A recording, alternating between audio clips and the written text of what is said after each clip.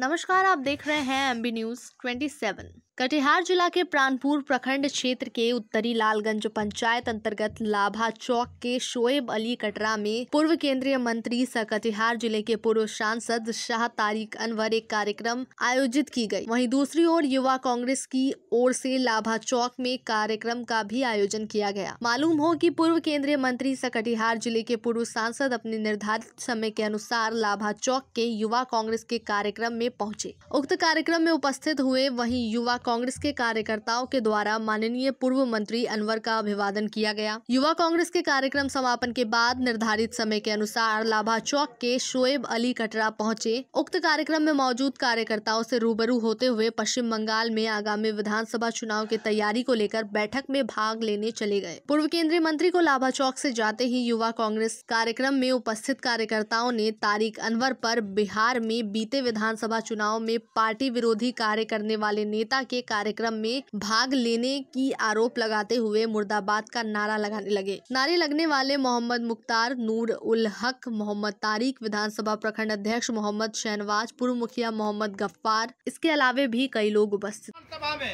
और उन्होंने काम किया। भले ही वह पार्टी के माध्यम से तौकीर आलम को टिकट देने का काम किया, लेकिन हमेशा वे तौकीर के खिलाफ चुनाव लड़ने वाले कैंडिडेट का भीतर से समर्थन करने का काम किया है। हम लोग युवा कांग्रेस पूर्ण रूप से तौकी तारीख अनवर का